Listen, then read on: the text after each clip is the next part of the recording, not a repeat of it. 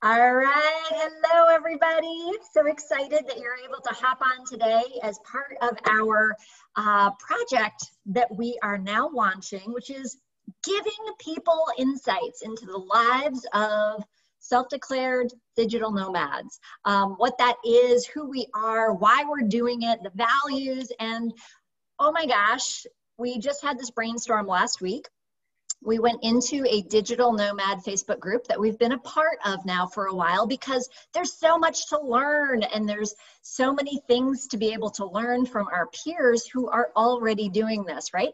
And I put in a little message that basically said looking for fun digital nomads to be able to interview. And lo and behold, one of the first people that hopped on was Laszlo, who you're going to meet in a second. And yes, he is fun. Yes, he is um, just really a visionary with what he wants to achieve. He has amazing story, uh, both from what he has done already to set himself up for this life of, of freedom, um, as well as what he's looking to accomplish. So to kick off, I just want to give you context because so many people have been asking me, what is a digital nomad? Well, it's a pretty broad spectrum um, term, but it definitely encompasses the concept of being untethered, right? Mm, yes. detached, untethered, being able to step into a life of self declared authenticity, hmm. freedom, travel, having priorities around all of those things versus priorities around the typical kind of, you know, standard lifestyle that is get the house, have the kids, have the dog, have the picket fence. For a digital nomad, many times that's just not a season that fits into their world. And so they're considered a little bit out of the box. Um, and Jeff and I stepped into that value system, as many of you know, um, a couple of years ago, and have really um, um, begun the process of looking at where we're going to travel to next. But right now, how many countries are we allowed to travel to? As of yesterday, looking at the far off path, I think it's called far off path. Uh, there's around 50 countries that we can go to as with a U.S. passport, as opposed to pre-COVID uh, times. There was around 140, mm-hmm. 50. So it's limited, but there's still lots of opportunity out there to move around. Yeah. And so um, the one way that we can move around is virtually, getting to meet new mm-hmm. people, hear their stories. That's part of the joy of being able to travel is culture, food and people. So we're able to at least tap into the people. And I want to introduce you to Laszlo. Laszlo uh, is, is um, living in the UK right now, but he has uh, already set himself up. And I can't wait for you to hear his story for him and his partner to be able to navigate into his dream life. Um, and he's also just a really great guy. So, um, Laszlo, if, if you don't mind taking a moment to just um, be able to you know, tell us a little bit about who you are, and um, then we can hop into your goals and what you're you're looking to accomplish. Yes, uh, thank you very much, first of all, for inviting me for this chat. It is a great story what you already said about yourself. And just as you, I am also trying to find a little bit of an alternative way to live our life mm, uh, or my life. Um, it never really occurred to me to stay where I was born and where, where my, my, my family stayed. I was always a little bit adventurous when I choose my career and my choose the location where I lived. So that's why I lived in, in the Middle East. I, I came to the UK, I lived in Germany, I studied in Portugal. So I was always sort of curious what is out there uh, for me and how can you prove that I, I am I am capable to, to fit in. I, I, I, I, am, I am still fresh and, and curious for the new stories, what I can catch on, on all, all, all these troubles.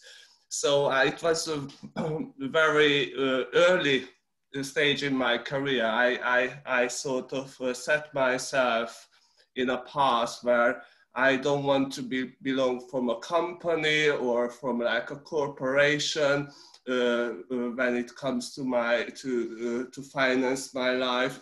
So I was very con consciously saved and, and position myself uh, in, in, in, in, in this world where I can reach to a point, and thanks God it is it came early because I'm only 40, but I reached to a point where I can say, like, okay, I can work for a company, but if I don't need to work for a company, if I don't enjoy or, or disagree with the values there, I can I can do something else.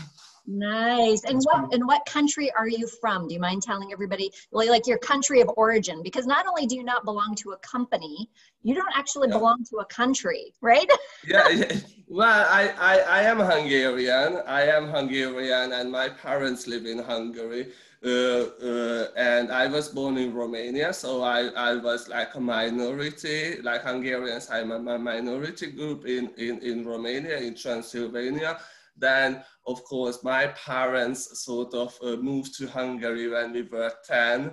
Uh, my brother was three years old. And I think uh, one of the reason I am easy to, to, uh, to sort of adapt and, and not to, you know, be like grounded for a long time because my parents had had this sort of mentality. They they were not afraid of change. They were not afraid of new challenges. So both of us work like this. And my brother, for example, he lives in Germany now. He, he when he was a kid, his dream was to work for a big uh, uh, uh, car company to design car, and this is what he's doing. So I think both of us received a sort of push from home, like a message that don't be afraid. Uh, you don't, you know, the new is exciting. The new is is is is nothing to worry about, basically. Nice. Yeah, and so one day you decided yeah. to travel to Sicily. Yes, because yeah. So, so the the journey to get here is not always easy. So I fall into the trap as well. I fall into this circle to to work and work and work and, and aim for more and try to work more and trying to make more money, try to be more successful and I was also like hungry for the power. But as for everybody, or not everybody, but for many of the people, it can result with a sort of burnout. That we, I reached to a point when I was waiting a little bit, like, okay, let's just slow down, wait for a second. Where are we going with this? And I decided to take some time off. Thankfully, I could afford it and I traveled on the Mediterranean. I went sailing, and I ended up by chance in, in Sicily. And when I arrived uh, uh, to Catania, that was a, such an exciting, untouched world uh, for me. It's even if it is Europe, but there is a combined culture with little bit of Asia, a little bit of Africa, Middle East, you know, North Africa, Middle East influence. That was absolutely fascinating. And I find this project where, where I'm joining now uh, which is uh, uh, called Casa d'Aria. And sorry, somebody's calling me. Yeah, no. Oops, no, no, can't talk right now. so, and, and uh, so I found this uh, this uh, this house, which is Casa d'Aria, the name of Casa d'Aria. It's a it's a nice townhouse in the in the central part of Catania, and I met this uh, the local architect who was dreaming about the project. She basically she has no children, but uh, this is her the project she was deciding to take it on, on. And the dream was to sort of create a, cultural hub, a, a, little bit of uh, uh, uh, a safe place for artists where everybody is included, everybody is welcome, and, and, and, and people can stop by as the digital nomads or any sort of nomads. I don't know, not necessarily digital, but nomads or travelers or people just curious to stop by, have, a, have some time and, and look around absorb the culture, absorb whatever they can, and meanwhile enjoy the local food, the wine, and the sunshine. So mm. it was very, very uh, exciting for me to, to participate, but it wasn't the right time. I still had to, you know, uh, uh, meet my financial goals and uh, had to, you know, make sure that while I'm doing it, I'm not completely destroying what I already built up. You know, I'm not spending the money. So thanks God, I was lucky with my investments and I invested my all my salary in properties and now I'm here 40 and mortgage free. Hopefully my retirement so and and hopefully I can use this sort of freedom to do something that I'm really, really passionate about. Mm. Mm, Great. That is amazing. So you you basically lived a meager lifestyle on your salary. I, I you, you said to me, you said, you know, I never went to Starbucks, right? Yes. it wasn't about like you going enjoying the Starbucks right now. You had a goal yeah. to have properties that were mortgage free to be able to create a passive income for yourself to unlock your geographic freedom so you could go exactly. work project, right? And and how old were you when you went to Sicily the first time? And you're like, ping, this is. I was 36. I think it was four years ago. So I had to wait four years. I'm quite impatient, but I had to wait four years. But the time is come. So back back to the the process. I think I was lucky because.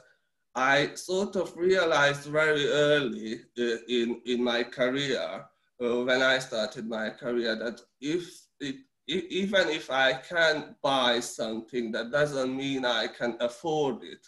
Mm-hmm. So I was always against this like spending culture and and for and and and and sort of like try to be very realistic, not to live from salary to salary. And even if I would have a certain uh, amount I could spend, I don't doesn't mean that I necessarily need to spend that.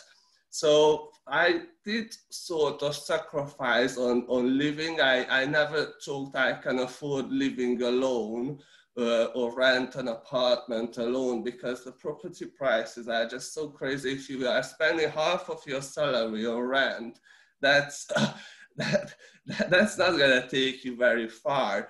So I, I always try to do a sharing. I never mind sharing uh, uh, accommodation. I never mind. My, uh, I I never uh, had a car. Never owned a car in my life. So um, I was always cycling. I, as, I, as, I, as, as you mentioned, I, I was never tricked by Starbucks coffee, and and I never thought that walking with a paper cup will be added, adding any value to my life.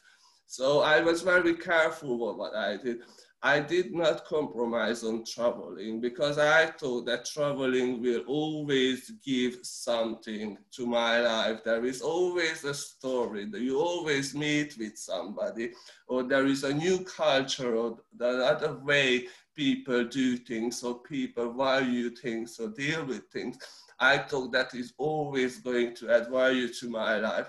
So for that reason, to be able to, to do that, and, and, and still we have so much to learn. I'm, I'm sure you agree. There is so much to, to, to hear, to, to, to learn about, and to see that I think uh, the sacrifice I made is really worth it at the end of the day. Yeah. yeah. Yeah. And really, I mean, you use the word sacrifice, but it's only sacrifice in the context of conventional living it's, Absolutely. I, I, actually feel like it's a sacrifice to have to try to keep up with the Joneses in order to like you lose sight of what I really want to do in this world, right? Yes. So I guess it's it's really sacrifice in the eye of the beholder, right?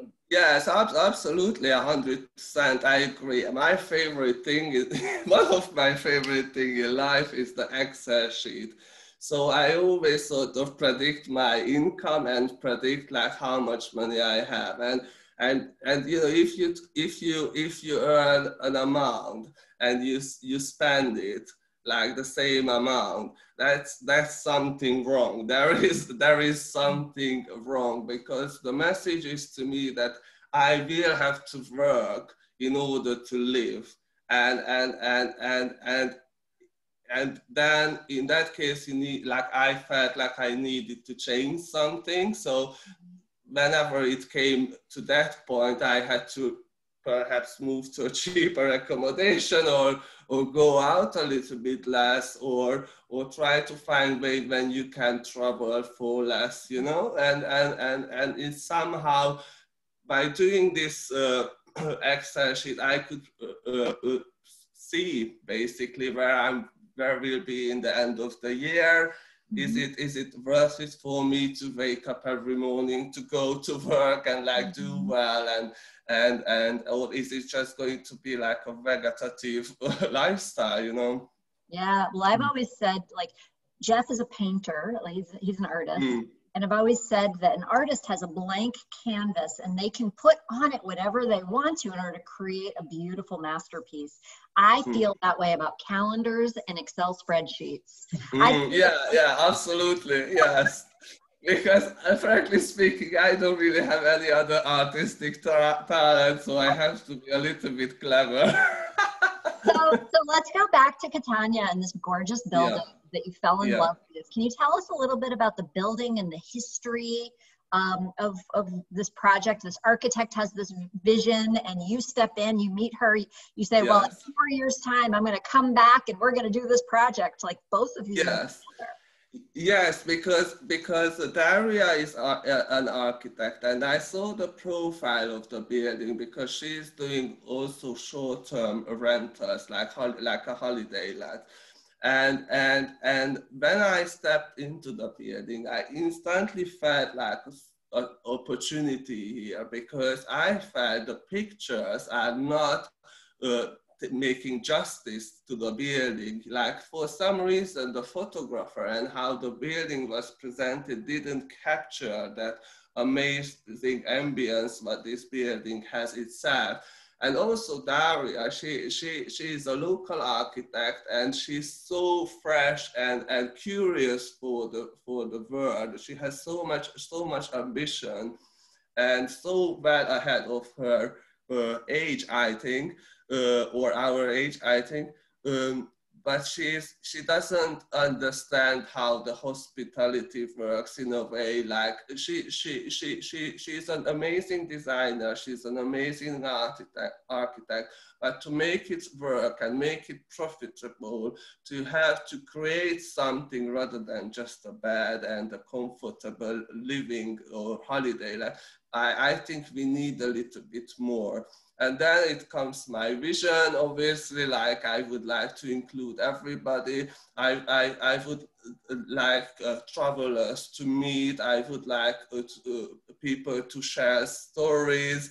I'm a little bit, let's say, uh, maybe selfish in, in, that department because one of the greatest thing is to hear somebody else's story and if it is a success get inspired if it is not so successful like learn the lesson, obviously.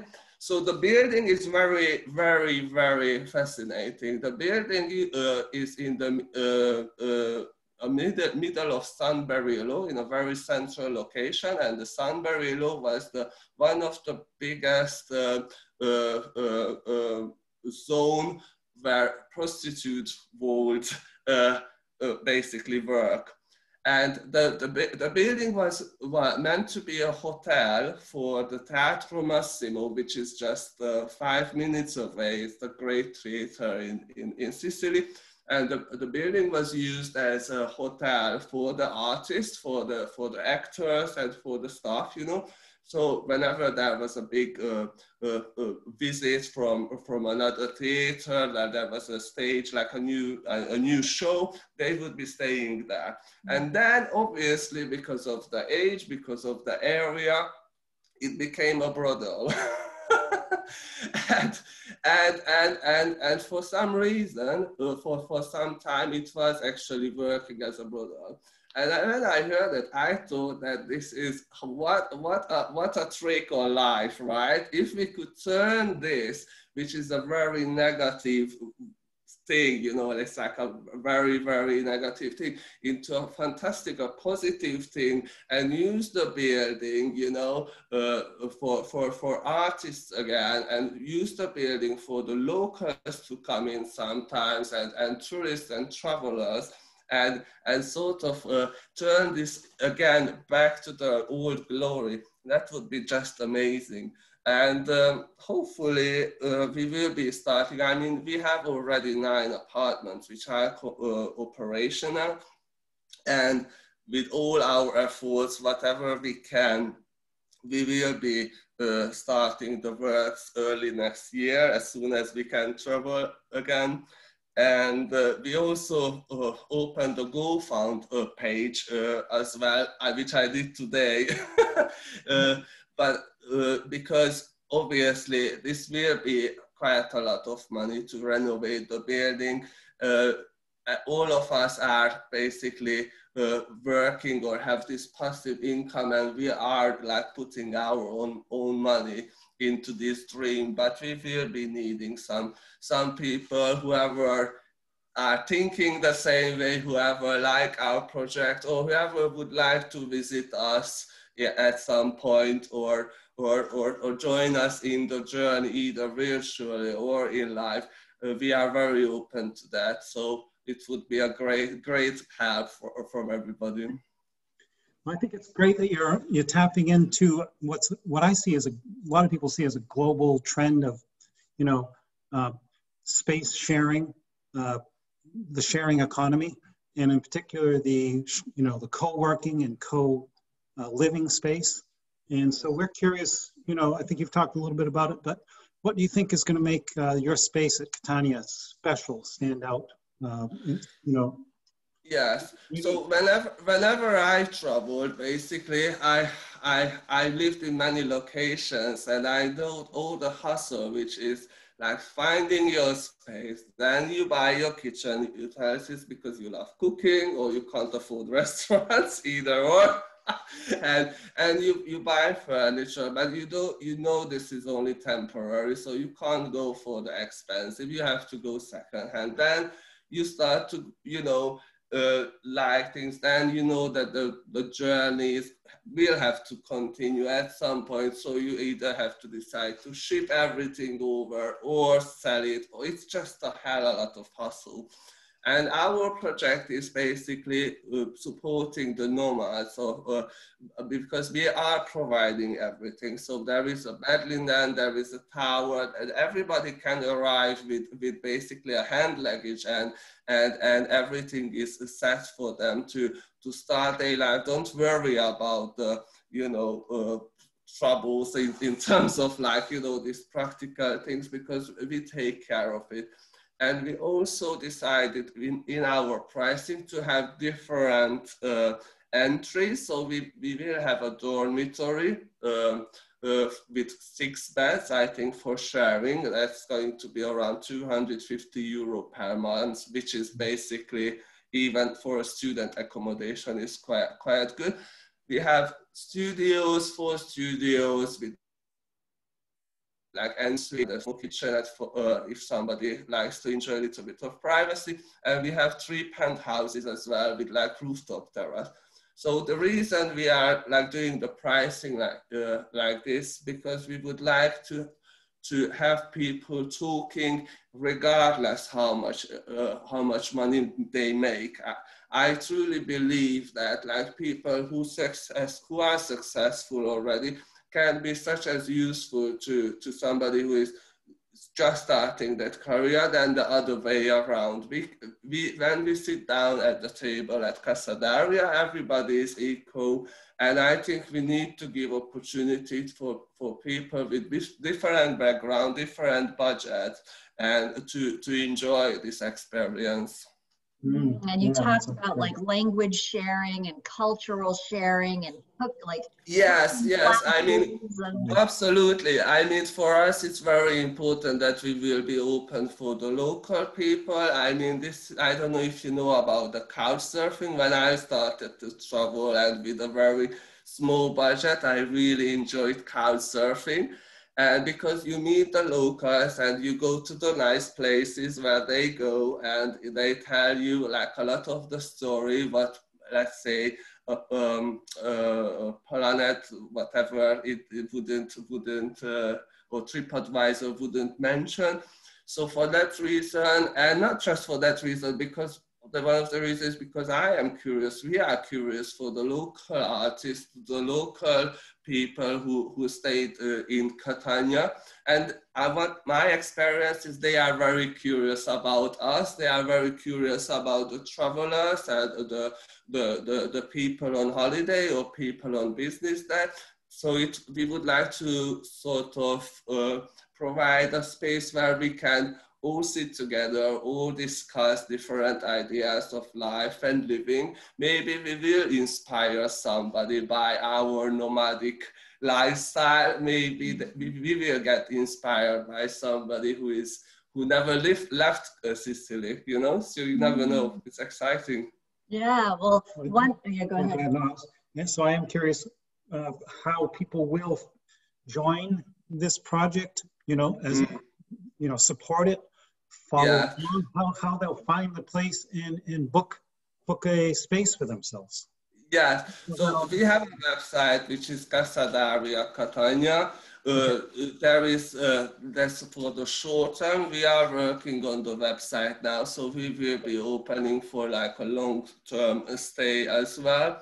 And as soon as I'm there, we will be starting a YouTube channel. So we will be Uh, documenting whatever we did, how we did, we did it.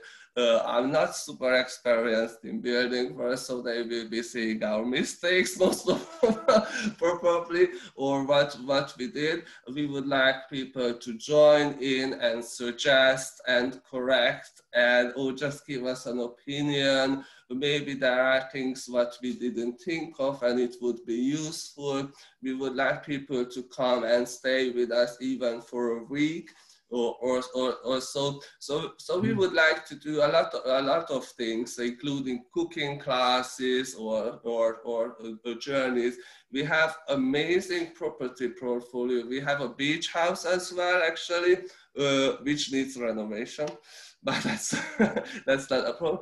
Uh, but we have a beach house as well. So that that is one venue we would like to sort of uh, fe feature in in the in the movies or the uh, movies the films uh, what we are producing. So we we are planning to say hello to to our audience like once a week uh, to start with, and then keep everything running and take it from there.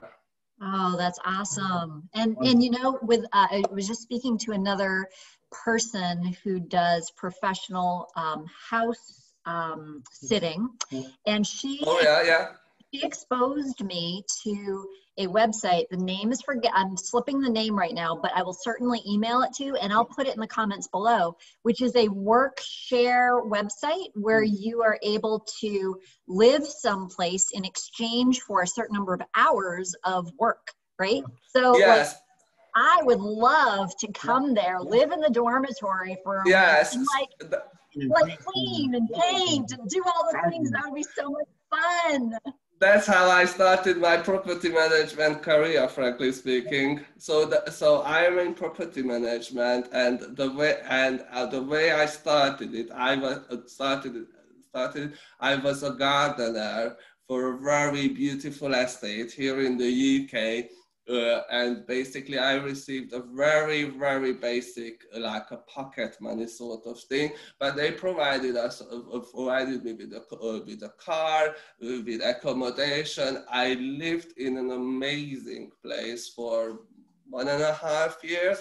I also practiced my English, you know, all these things. So, and from there, I went for the property management, and and I, I I sort of like improved on the on the thing. It's an amazing experience. I highly mm. recommend it. Yeah, that's awesome. Well, so stay tuned for uh, Laszlo's YouTube channel. We'll keep everybody informed in the description down below. If you're watching this on YouTube, if it's Facebook, well, you may or may not have, have seen it, um, but certainly go to Go Where It Feels Good YouTube channel if you're watching this on Facebook and make sure you subscribe so that you can watch all the interviews that are coming down the pike. Uh, Laszlo, I want to thank you again for taking the time for sharing your story and I you've enticed me to come to Sicily. Yeah, we'll I'm, re- I'm ready to go. you are very welcome and thank you very much for for the time again and for your stories. I will be watching your YouTube and wishing you very, very uh, so much luck and so much fun on your journey. Thank you. Thank you so much.